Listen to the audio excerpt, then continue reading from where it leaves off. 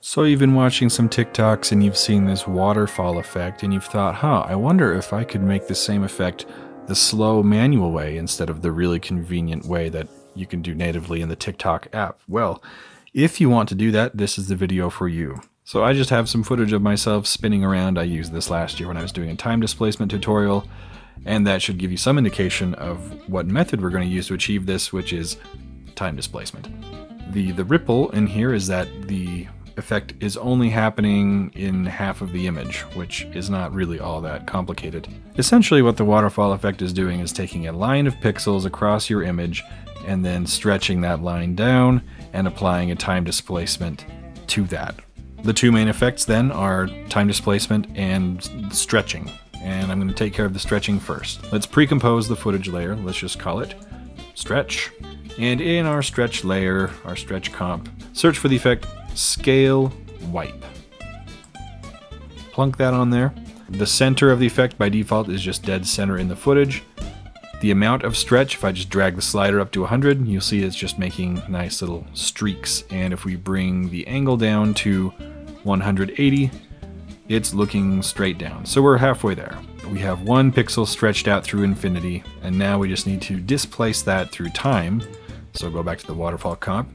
Back in our main comp, create a new solid, Command Y on a Mac. I'm just going to call it gradient. Doesn't matter what color, because you're not going to see the color anyway. Once you apply a gradient ramp, displacement is driven by the color of the pixels, by the luminance. Black pixels will essentially lag behind, white pixels will move forward, and perfectly middle gray pixels will not be shifted. So, with that in mind, we do not want any pixels to be moving forward through time. We just want things that are at the present and they get farther and farther behind as we move down. So at the end of the ramp, we want to select black.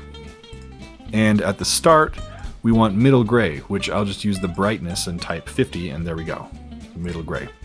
And also I want, if you remember in the stretch column, our effect is starting dead center, so I want the middle gray to also be dead center, which in this case is just going to be half of 1080, which is 540. Now we can turn off the visibility of the layer, and the final effect will be time displacement, which we add to the video layer. Now this is a good moment to point out that if you are in 8-bit color, make sure you are in 16 bits per channel. You'll get a smoother uh, gradient that way. We need to make sure that the time displacement layer is the gradient and that it's reading the effects and masks because the gradient is an effect. And okay, now we're seeing something. Time resolution, I'm just going to leave that at the default 60 for demonstration. Now, this is where things get really slow on your machine. As we move down, we're a little farther back in time, so it's sort of a record of what came before. Now this just gives you the default center line position for the effect. You can move it if you adjust your gradient ramp position for the start of the ramp, as well as the, uh, the center of your scale wipe effect and make sure that these values are the same, the 540 here and, and in the other one. So let's let's go ahead and shift this down a little bit. I'll go to 625. 625 here, and in the waterfall comp, 625 for the start of the ramp. And you could link those with an expression if you're feeling fancy. I don't feel quite that fancy right now because I'm just making the adjustment one time. Looky there.